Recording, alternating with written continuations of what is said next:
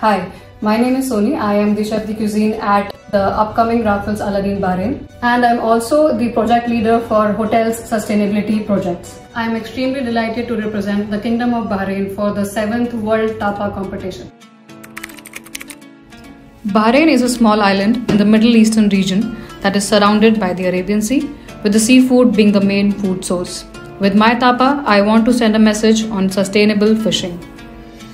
The tapa I'm going to be serving is called as the sea flower.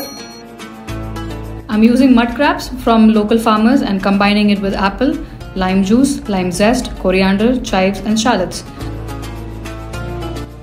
Since the population of sturgeon is declining day by day, I'll be using Avruga caviar produced in Spain, which is a sustainable alternative to the beluga caviar.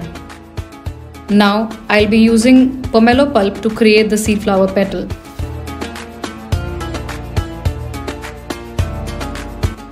I present to you the sea flower tapa inspired by sunflower, which symbolizes unwavering faith and hope towards a sustainable future. Thank you for watching.